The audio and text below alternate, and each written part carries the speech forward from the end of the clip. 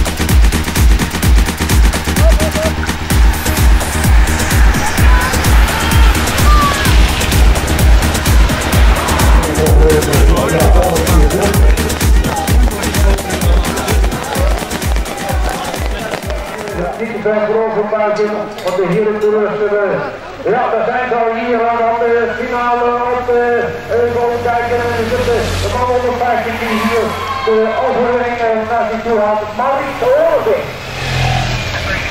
Marie Hoorting. Nou, ik denk dat we op zelf heel tevreden mee zal zijn, Jan, met zo'n naam met het podium, dat dacht ik wel. Want Valentin is uh, niet de eerste beste, dit professional B zou je kunnen noemen. Pakt hij dan toch een uh, hele fraaie overwinning. De man op de rug nummer 50. Nou dan uh, de binnenkomst hier van uh, man op de vijfde volgende plaats. We zien het allemaal bij elkaar, maar die mag een applaus geven mensen. Want hebben nog in die laatste 10 kilometer heel wat moeten doorstaan. En ze zijn er nog niet pas wanneer overgetreden is, dan is het allemaal gedaan. Plaats en de vier onder andere diezelfde Marco Hoekstra, waar we al over hadden. De man die ook deel uitmaakte van die 20 mannen van Parkhotel Valkenburg. Het uh, uitbreiding van als je het uh,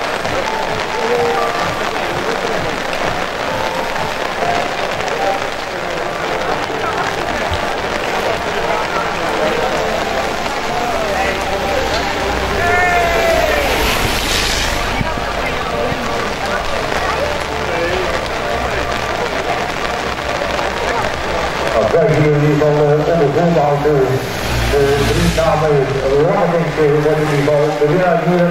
Dan zou van de Belgische jullie Hafink op een tweede plaats zijn gekomen en een derde plaats.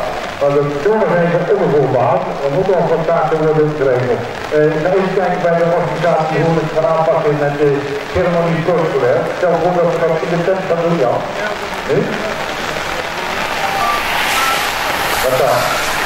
Nou, kijk, we hebben goed geluid in ieder geval. Dus, uh, we doen het in de tent. Ja, in de tent. Helaas, dit heb ik niet in de hand. Nou, dat uh, ik denk niet wat kwalijk. Dan uh, gaan we hier allemaal uh, binnenkomen. Wachten hier uh, over de strijd met en het peloton dat nog over is geweest onder deze barre omstandigheden. Uh, melking hier en zal allemaal nog geclasseerd worden. Met de vetafspannen voor hetgeen wat jullie vandaag hebben laten zien. Uh, het deurpijpen vasthouden en dan met name ook in die laatste 10 kilometer nog, ja, laatste 15 kilometer nog terug. We waren z'n tweeën van Pils en uh, die gingen om en om. En normaal ben ik de snelste, dus ik sprong meteen het wielbeeld uit. Heeft het weer in die zin nog een rol gespeeld dat je dacht van uh, ja, ik wil niet uh, uh, plat gaan? Nee, ja, je moet wel alles meespringen, anders spring je niet winnen. Maar nu wel, maar ik word geen zin. Vorig jaar de, de winst gehaald en dit jaar tweede, ben je toch nog een beetje content ermee eigenlijk? jawel, ja absoluut. Dat kan toch niet als je vorig jaar wint en nu tweede wordt? Uh, jawel, want ik heb uh, vandaag op voorwaarden geklopt. Toch? Ja, absoluut. Ja, betekent dat uh, Maurits de meeste risico durfde te nemen? nou, het viel nog wel mee, vond ik eerlijk gezegd. Ik ben eigenlijk door Jasper bijna voor de fiets gereden. Ja. In de laatste bocht. Maar nee, we gingen vrij goed over de bocht door. En toen was sprinten.